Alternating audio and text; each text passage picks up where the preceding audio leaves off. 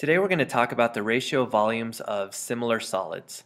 So similar to what we did last time um, with the area of objects, we're going to talk about the volumes. So I'm going to talk about the ratio of the sides and then the ratio of the volumes. See if we could find some sort of relationship ultimately when we get down to A to B here for the spheres. So the ratio of the sides, first thing I see is I have 5 to 10. Now when I take the volume of those, that means I'm going to get 5 to the third, because that's how you find the volume of a cube, to 10 to the third, and that simplifies down 1 to 8. Next I have square pyramids. So if you remember, they're pyramids with a square base. So you take one third the base area times the height to find the volume. But first, let's talk about the sides. And I have a ratio of 4 to 6, which simplifies down to 2 to 3. 2 to 3. So that means the volumes then, if I take 1 third times 4 squared times 6, and I divide that by 1 third times 6 squared times 9, that will simplify down 8 to 27. Now I have two cylinders. Here I'm just going to take a look at the ratio of the sides. In this case, I'm going to use the heights, and that simplifies, or that is 9 to 15, which simplifies, oh, running out of space, down 3 to 5. So now the ratio of the volumes, maybe you've already seen a pattern, but um, I need to find the volume of both cylinders, and that's just, uh, I find the area of the base and I multiply it by the height, so pi times 6 squared times 9, and then I relate that to 10 squared times pi times 15, and when I simplify that down, I get 27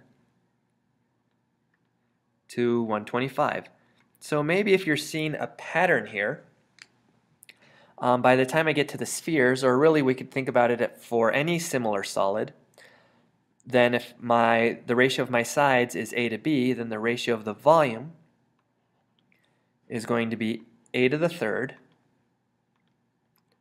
to b to the third. So let's go ahead and take this information and use it for some problems.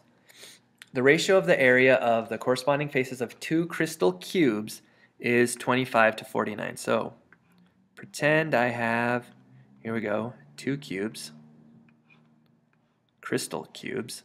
So that means they're super fancy. And the ratio of those two cubes is 25 to 49. So the ratio of the areas. Then find the ratio of the corresponding sides of the cubes. So first we have areas. So areas we know the ratio is a squared to b squared. So then if I want to find the ratio of a to b, I have to take the square root of both these values.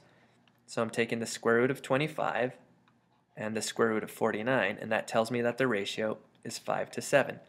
So the ratio of the corresponding sides is 5 to 7. Then what I want to do is find the ratio of the volumes.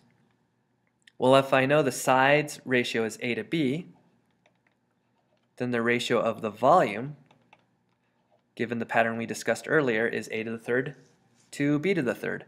So I'm going to take 5 cubed to 7 cubed, and that's going to get me 125 to 343. So that's the ratio of the volume of the cubes. And that's going to help me because if the mass of the larger cube is 686, I need to find the mass of the smaller cube. Well, I know the ratio of smaller to larger is going to be equal to 125 over 343. But I know that the larger, the mass of the larger cube is 686 grams. So then what I can do is use cross multiplication, and that's going to tell me that my answer is 250 grams. So the mass of the smaller cube is 250 grams. Cool stuff, right? Yeah, I thought so. Now, here's a challenge for you. I love this problem. The diagram shows a cup in the form of an inverted cone of height 18 centimeters and base radius 7.5 centimeters. It is filled with water to a depth of 12 centimeters. Find the volume of water in a cup. Here's a hint. Look for similar triangles.